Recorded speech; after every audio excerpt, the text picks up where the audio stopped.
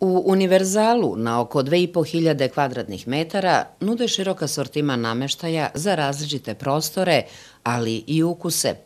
Bez obzira da li volite klasičan ili modern dizajn, za sve je jedno zajedničko. Kvalitet garantuju proizvođači nameštaja koji su se dokazali i na domaćem i na stranom tržištu.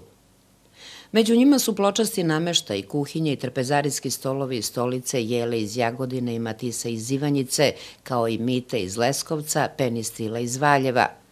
Tapacirani namešta i fotelje, francuski leževi, ugaone i klub garniture stižu iz Novog pazara, Vranja i Tutina. Dnevne sobe delo su takođe Matisa i Jele. U salonu nameštaja Univerzal u Novom selu prodaju dušeke koje pravi firma Tin Madraci iz Preljine. Imaju ih u tri varijante, od memorijske pene sa žičanim jezgrom i od sunđera.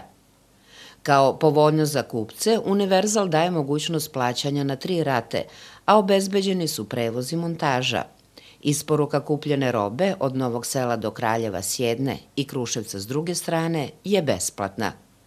Ukoliko vam ne odgovaraju boja ili dezen izloženog nameštaja, prema katalogu možete da naručite ono što vam se bolje uklapa u vaš prostor, a Univerzal će vas u dogovoru sa proizvođačem obavestiti o roku isporuke.